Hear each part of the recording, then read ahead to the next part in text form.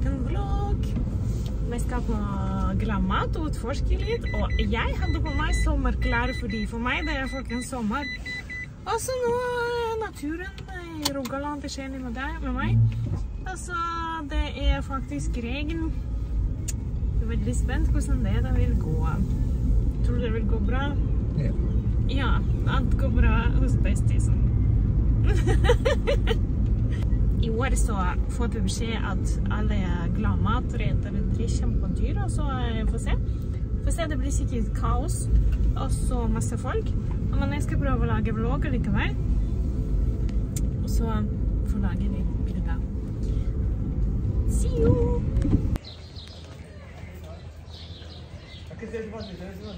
Yes. Vi ferdig Gigant, og det var det ingenting spesielt. Eh, selv om det var annonsert at det ble noen DJ, men det er ikke på kvelden. Jeg vet ikke om jeg tar meg en tur på lørdag, kanskje. Vi å se. Nå finner noen å med. Men nå skal vi på kaia og se hva som skjer der, for det er sikkert gladmaten er der. Sånn er det.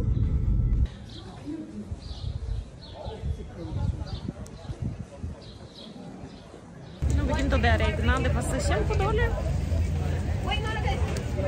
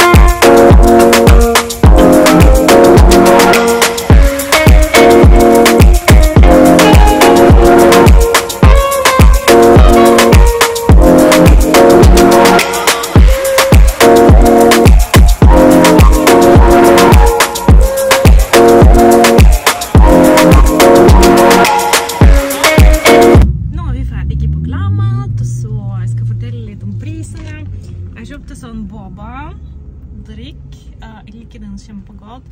Eh, Den koster sånn liten jeg vet ikke hvor mange milliliter det har egentlig et glass. Det koster 59 kroner. Og så kjøpte jeg meg sånn liten uh, boks til dattera mi, for hun spurte om er veldig glad asiatisk mat, så vi tok med en sånn boks. Og der er det ris og kylling og teriyaki-saus. Det er sånn tung, det er sånn OK middag for ei lita jente på 16. Men det koster 125 eller 129. Sånn skikkelig, som skikkelig middag på restaurant. Altså Så det er sånn, sånne priser. Så vi spiste grillspyd eh, med eh, Bestisen hadde ris, og det kostet det hundrings. 75 per stykk. 75 per stykk for spyd, kyllingspyd. For grillspyd. Og for ris 60 kroner. Mm. Et renne. Det blir veldig hundrings for din redd. Sant, det var 268 totalt. Ja, for så stykk så var det Ja, det er nesten som middag på restaurant.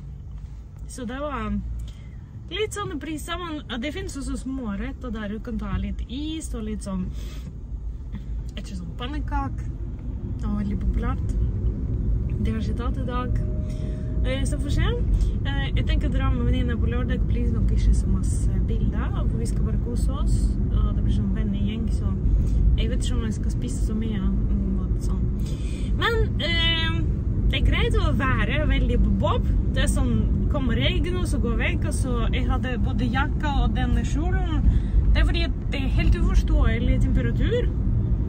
Ble det veldig varmt når jeg sto der, og det var ikke vind, så det var sånn skikkelig Altså Ja, det var det.